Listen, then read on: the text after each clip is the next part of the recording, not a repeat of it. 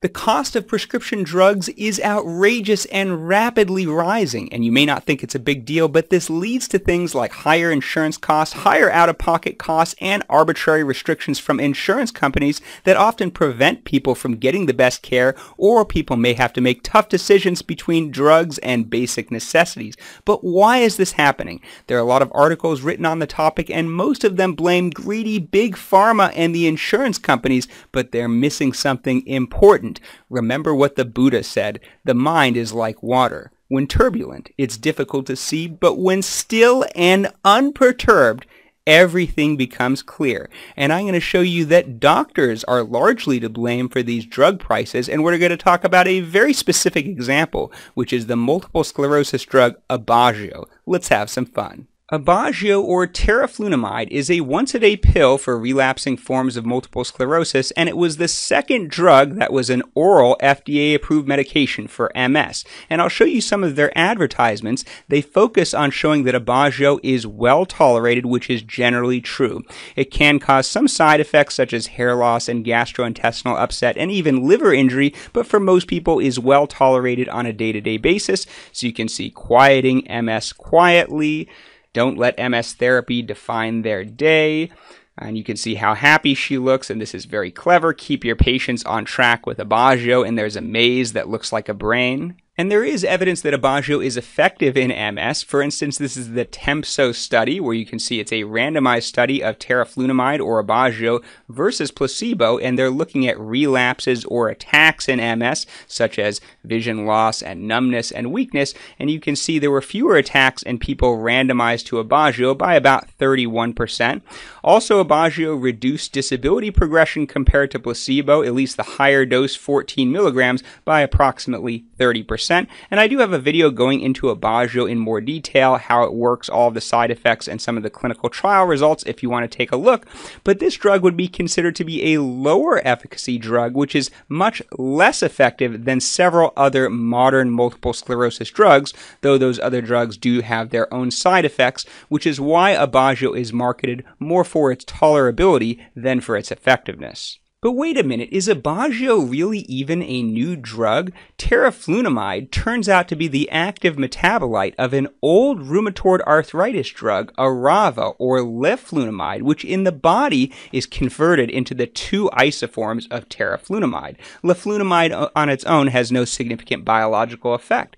And there's a huge difference in cost of these drugs. Aubagio is about $112,000 per year. You heard that correctly correctly. Now, there are different drug prices, they vary widely. Insurance companies negotiate discounts. But can you imagine a 20 year old person with multiple sclerosis could take this drug for 30 years for a total bill of greater than $3 million, far greater than the average lifetime income of an American? But by contrast, Arava, which is essentially the same thing in the body, has the same active ingredient, is only $372 per year. That's it pennies on the dollar. In fact, the typical dose of Arava is 20 milligrams, and teriflunomide exposure after a single 20 milligram dose of leflunomide or Arava is about 70%. In other words, 70% of leflunomide is converted to teriflunomide milligram per milligram, which is equal essentially exactly to a 14 milligram dose of teriflunomide or Arava. In fact, presumably they chose the 14 milligram dose because of the long safety history with 20 milligrams of Arava. In fact, the EMA, the European equivalent of the FDA, was reluctant to even approve this drug as a new active substance because their policy states the different salts, esters, ethers, isomers, mixtures of isomers, complexes, or derivatives of an active substance shall be considered to be the same active substance unless they differ significantly in properties with regard to safety and or efficacy.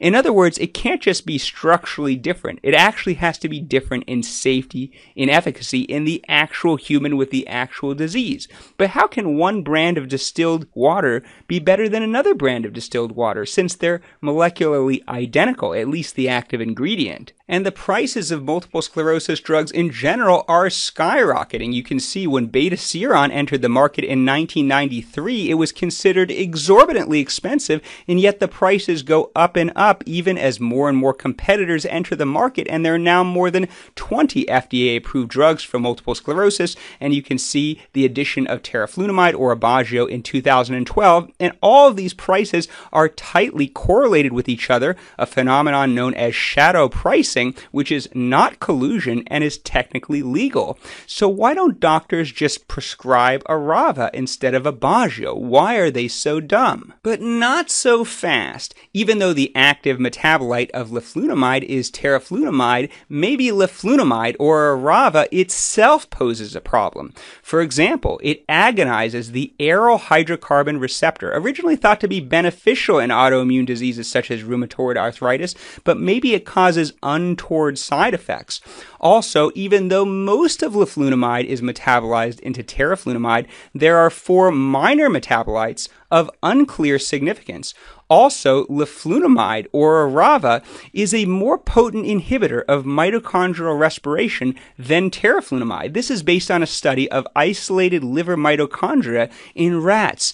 And Aubagio was marketed as being a cleaner version of Arava with less risk of liver side effects. But wait a minute, that study on mitochondrial respiration, that was presented at ACTRIMS, a multiple sclerosis conference, and look at who the scientists work for. Sanofi, that's the manufacturer of Aubagio. Should we really listen to them? And this was published in 2013 after Aubagio was already FDA approved. What exactly were they trying to achieve here? And why are we talking about rats and cell culture anyway? We can just look at actual humans with actual diseases and see what happens to their liver. This is from the product label. You're looking at rheumatoid arthritis studies with Arava to the left and Aubagio in multiple sclerosis to the right. And you can see the side effects are remarkably similar. In fact, elevated liver enzymes occurred in 5% with Arava, but in 15% with the higher dose of Aubagio. Now, the doses here aren't all equivalent, but this review article found that with Aubagio, teriflunomide, the MS drug, elevations above three times the upper limit of normal occurred in 6% with Aubagio, but only 3.8% with Arava. So this idea that Arava is more toxic to the liver is complete nonsense, empirically false. And this phenomenon doesn't just stop with Aubagio and Arava. There are many other examples of a similar but less expensive equivalent drug to treat the same condition. And this is just a chart of some examples within multiple sclerosis, and they all have their own technical considerations beyond the scope of this video. But just as one example, Kesimpta is a subcutaneous under the skin formulation of ofatumumab, but there's an older drug, intravenous ofatumumab, known as Arzerra, which is less than one tenth the cost. So, one potential way for doctors to reduce the cost of prescription drugs is simply by looking for opportunities to prescribe equally safe and effective medications that are equivalent but much lower in cost. But that doesn't happen very often in real life. For instance, Arava isn't prescribed very often, as far as I know, for multiple sclerosis, and I'm not exactly sure why. One of the reasons may be, of course, the lack of marketing. No drug rep coming to us telling us to prescribe Arava for multiple sclerosis. There's simply no money in it, and patients aren't asking for it either. In fact, people with MS aren't necessarily that interested in this. I posted a Twitter poll asking if MS doctors should prescribe Arava, and I asked the question in a very biased way, trying to get as many yeses as possible,